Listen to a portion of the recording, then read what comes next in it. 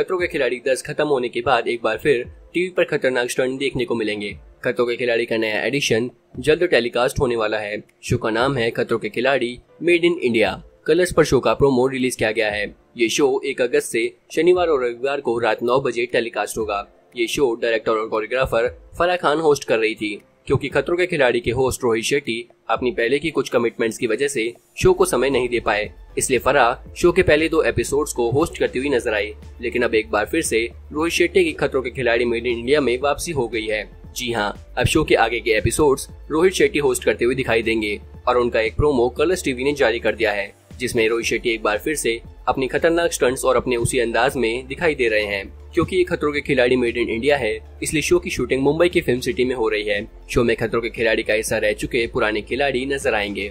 इनमें करण पटेल, जैसमिन भसीन ऋतिक धनजानी निया शर्मा, अली गोनी जय भानुशाली करण वाही शामिल हैं। शो में डबल धमाल होने वाला है। मुंबई की फ़िल्म सिटी में अब ये सितारे खतरनाक स्टंट परफॉर्म करते दिखाई देंगे।